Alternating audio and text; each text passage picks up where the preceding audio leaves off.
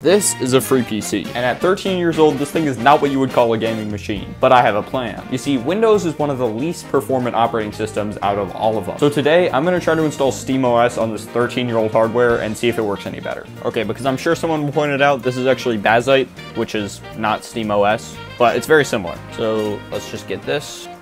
Uh, actually, I actually have no idea which one it is. This is an RX 550, but I can't figure out whether it's supposed to be legacy or regular. Okay, based on the release dates, I'm guessing it counts as modern here. Let's go with KDE, and do I want Steam Gaming Mode? I don't know, do I want Steam Gaming Mode? Looks like that is intended for handheld, so no. And now, download Bazzite. Okay, it was a lot faster to download on my laptop, so that's what I'm doing. It's downloaded, and now I gotta copy it to my Ventoy USB drive, which will probably also take a while. With that done, let's plug in the USB drive and see what happens. Now, I'm not 100% sure how to boot from this thing, or how to get to the boot menu, because I kind of forgot. Okay, looks like escape boot menu. Okay, that's a bad sign. Oh, loading boot menu. Nice. Uh, flash drive, Ventoy. There we go, Bazzite, and let's do that absolutely nothing's happening. Well, maybe I'll just I'll just let it cook for a little bit. Aha, uh -huh. this is progress.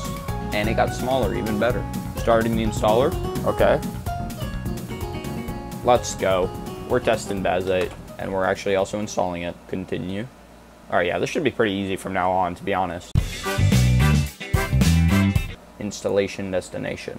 Yeah, we don't need the old Windows installation anyway. And now we begin installation. I gotta say, this is going surprisingly better than I thought. Okay, I'm slightly concerned that it hasn't moved off the screen at all. So let's, let's retry that. Uh oh I left the whole thing. Dude. that is not what I wanted to happen. You know what they say, second time's a charm. Yeah, I'm pretty sure I messed up the partitions or something. I don't know what's going on here. Okay, I guess we're just gonna delete everything. All right, here we go, for real this time. This time, I'm not stopping it early. Probably. It's done, so now we just reboot and see what happens. Preparing system. That's a good sign, though. Uh, it just went back to this. I don't know if that's good or bad. Hopefully it's good. Hopefully it didn't just, like, reset everything. Alright, this is new. Oh, I think we're in. Okay, let's try Steam. Alright, we're in Steam. The question is, what game to try? CS2 it is. I'll also grab Minecraft just to see if the performance changed at all.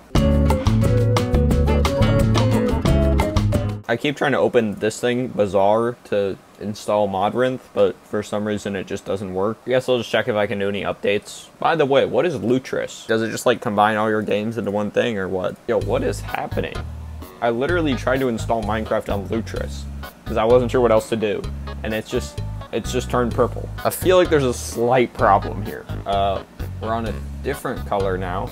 I'm so lost. I really thought everything was working there. I don't know what happened. Guess I'm just gonna try and restart it. We're back. Let's hope it works this time. This is what it did before, and then it closes. Okay, yeah, see, I, I just don't get that. Okay, new plan. We're gonna install it on FlatHub. I don't know why I didn't think of this before. Yeah, I should have done this like half an hour ago. Okay, new problem. So it launches fine, and then as soon as I try to click on something, oh wait, not that. As soon as I try to click on this, it freezes and then I can't do anything. I really have no idea if this is Linux's fault or what is happening here, but something is happening and it's a problem. All right, I got it working by just avoiding clicking on the modpack screen and now it's downloading from this screen instead. But now it's not downloading Minecraft. What is happening? You know, when I started this video, I wasn't thinking the hardest part would be downloading games. Hey, it's working. Let's go. Okay, looks like it's finally downloaded. So now we test Minecraft on Linux.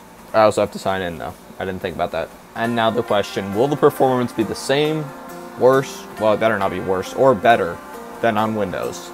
Hopefully better. Okay, let's just make a new world. I gotta say, the menus already feel a little bit quicker than Windows. Good sign. Now I'm gonna let it cook for a couple seconds here. But, okay. You know what? Oh wow, that's so much better. Wait, what? Hold on. That's actually an insane difference. It's not like the Windows one was not smooth when standing still. But this one, like, even when loading chunks, is getting 60 FPS. Yeah, Windows just got crushed, man. Okay, well, that's a bunch of points to Bazzite already, but I guess we should still try CS2, because why not? Counter-Strike 2 has been installed. Now all we gotta do is test it. And honestly, I'm expecting, like, not horribly terrible results. Okay, I'm gonna assume it doesn't mean anything that it switched back to play and just press play again. Like, it didn't crash, right? I'm gonna try a different Proton version. Maybe that'll fix it.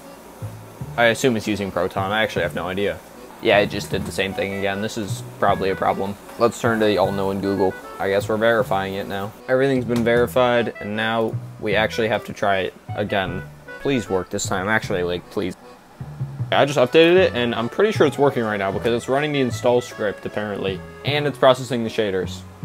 Hopefully. Okay, this is taking a while. All right, so at this point, it's actually the next day, but I'm pretty sure it finished processing the shaders last night, so now we gotta try it out. No way it has another update. I literally just updated it. All right, here we go. We're hitting play. It better not redo the shader thing because I, that took so long last time. It's still doing the shader thing. A CPU that supports the SSE 4.2 processor feature is required. Yeah, that's not happening. It's over. Basically, my CPU is like a year too old for this. I don't know how often games need this, but I feel like most of them don't, right? Well, if we can't get CS2, we can at least get CSGO. If I can remember how to do that, because there's definitely some sort of like launch option or beta you're supposed to do. Oh, CSGO Legacy, here we go. So wait, can I just play that now? Do I not have to install it or anything?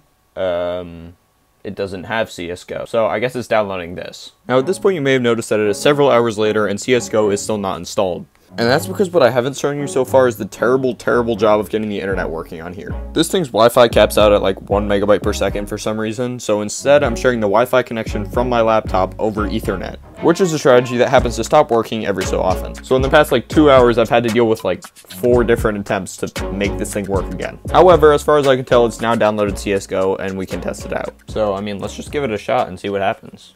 Play legacy version, that's what we want. Okay, seriously, dude? Fatal error. Failed to connect with local Steam client process. Please make sure you're running the latest version of the Steam client and launch the game from Steam. What do you think I just did? And of course, it's up to date. Let's just go for a good old restart here. Looks like the network stopped working again. That's fun. Second time's the charm. Okay, it did an update, and I feel like we could be getting somewhere with this. Nope. Hi friends.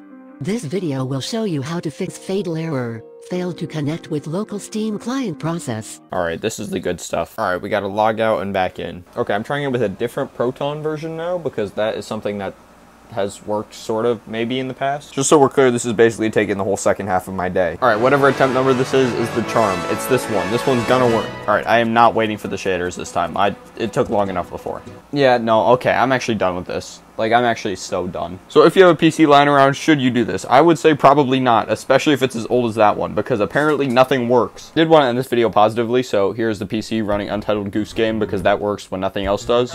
And uh, yeah, that's the video. Quick note, I think Bazzite is generally better than this, but the fact that it's a 13-year-old PC does not help.